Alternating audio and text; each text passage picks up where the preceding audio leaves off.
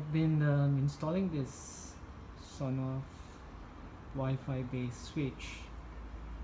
Mm, and recently I've just replaced my Wi-Fi router and wasn't able to connect. So of course you have to reconfigure this thing here.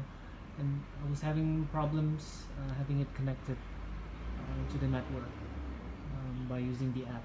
So there's a special steps that you need to do. So I'm just gonna share this real quick um, for this one you have to always set it to the compatible pairing mode and you can find it online on how to do it. Basically once you get it into uh, the compatible pairing mode the uh, LED will blink very quickly. And once that's done uh, connect your device or sorry your phone uh, to to the Sonoff device and the password should be 12345678 and once you're connected launch the app and choose to pair it. And once you're pairing it um, you will get a timeout uh, notification. Normally it wouldn't connect the first time. And then just what you do is just click next and just choose compatible pairing mode.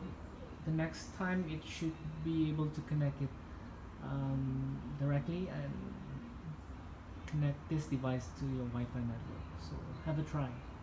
If you have any question just uh, leave your quest leave, it, leave your question below